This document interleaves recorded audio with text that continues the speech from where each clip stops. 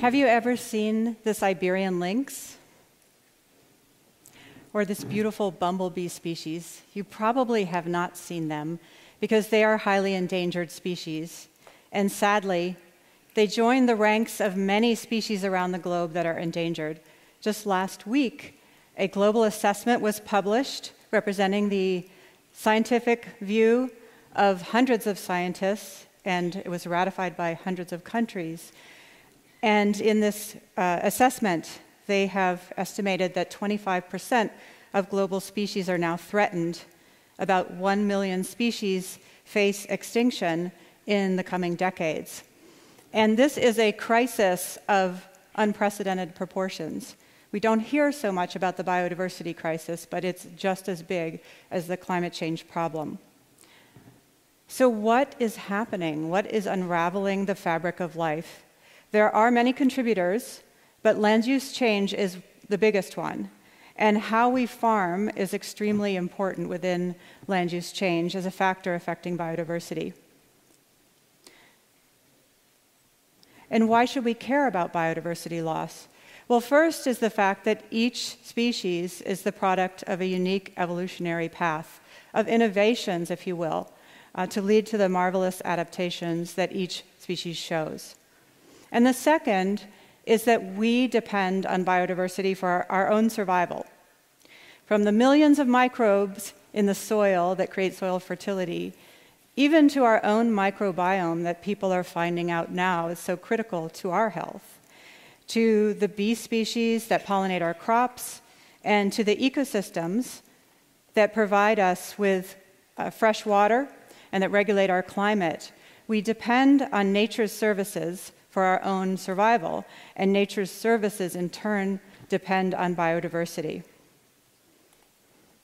So, I've been a biodiversity scientist working on protecting species for pretty much my entire career, and that career started in Madagascar in 1988. And at that time, I was involved in helping the government identify uh, the best areas to protect Madagascar's endangered flora and fauna. Most of these species are endemic, uh, and that means found only on Madagascar. And some of the good news is that over the past 50 years, we have made a tremendous increase in the amount and the size of, protected, of the protected area estate. So we now protect over 22 million square kilometers. But the question is is that enough? It turns out that beyond these endangered species, even some common species are declining. This is a harbinger of things to come the common species today are going to be the endangered species of tomorrow. So, what should we do? Our protected areas are vital, but what do we need to do to complement this protected area strategy? I believe that we need to also protect biodiversity in the spaces that are shared by people in nature. In other words, what we call our working landscapes, where we farm, where we grow livestock, where we extract forest products. Because this region, the working lands, are so much larger than our protected areas. Right now, we protect about 15% of the terrestrial land surface, but our working lands are certainly more than 50% of the terrestrial land surface.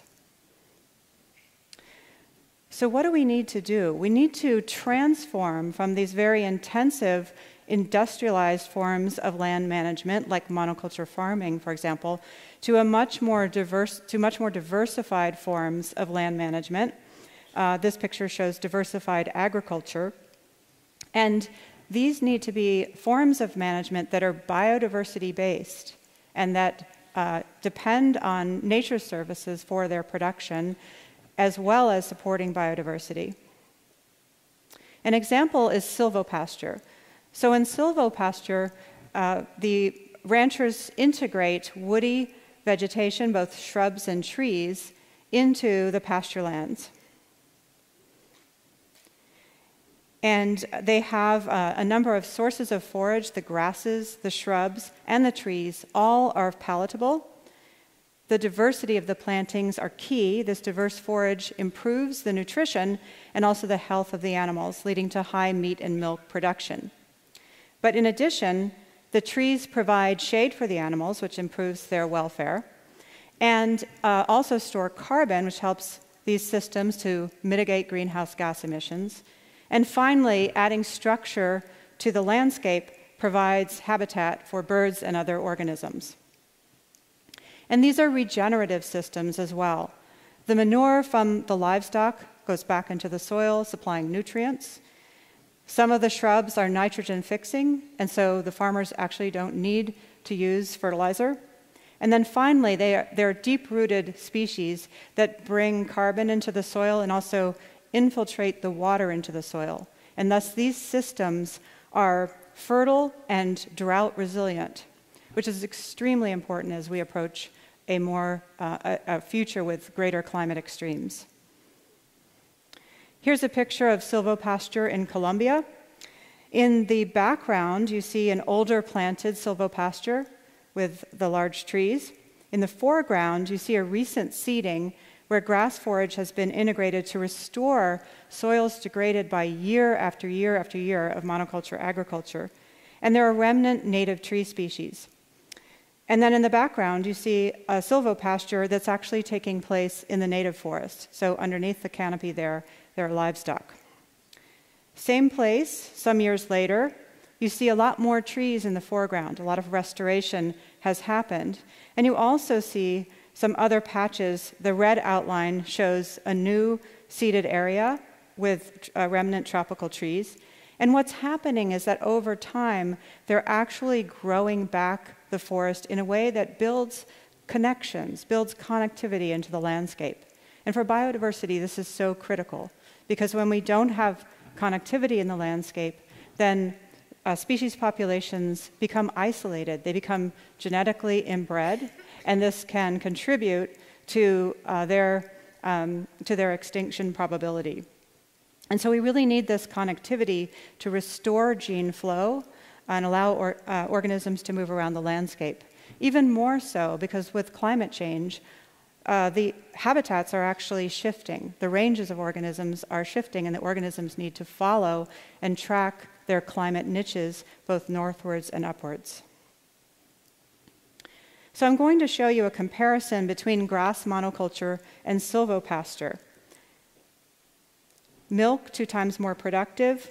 Meat, two times more productive, or a little bit more than that. And much less uh, pesticide is needed to control ticks uh, because there are natural enemies in the environment that are controlling them. No fertilizers are being used. And be- the combination of that means more production, less inputs need to be purchased. This is a more profitable system. In addition, more than double the carbon sequestration compared to a grass monoculture, much higher uh, species richness of birds, and much less land is being used for the production of, of a ton of meat. That's because the stocking rates are actually higher in the silvopastoral system. So, in the sum, the silvopasture is more productive, more sustainable, and more pr- profitable while providing these important biodiversity benefits. So, it's possible to think about these kinds of methodologies even in the most intensively farmed areas, such as the US Corn Belt. Here, some farmers are integrating small strips of prairie on 10% of their land in this photo, we get down into that prairie strip. You can see all of the uh, diversity of prairie uh, flowering plants. It's bringing back some bird, uh, some prairie bird species, and a variety of other organisms as well.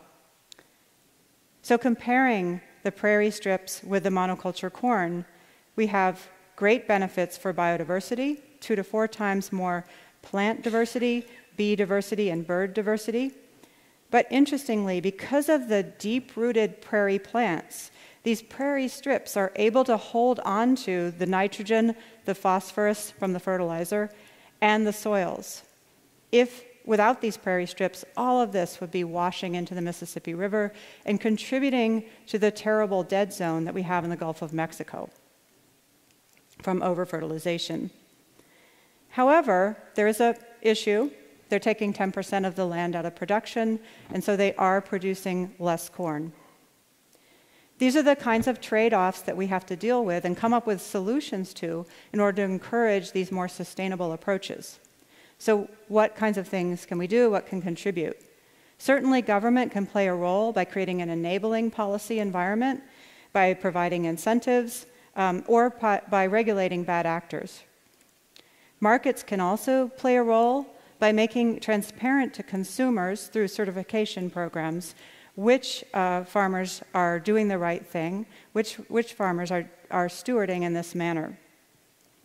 But perhaps the most promising is the actions of civil society itself through grassroots activities, community engagement, and social movements. We find promising examples around the world. So, to sum up, these kinds of more diversified, nature based methods are critical to provide connectivity uh, so that we can promote organisms' ability to adapt to climate change and to resist uh, genetic inbreeding. They can provide a little bit more habitat for all of those other species with whom we share the planet. They can reduce the negative effects of agriculture, uh, such as pollutants. And then finally, they can enhance and sustain the production and livelihood of the many uh, families that are operating these farming and ranching and forestry operations. Thank you.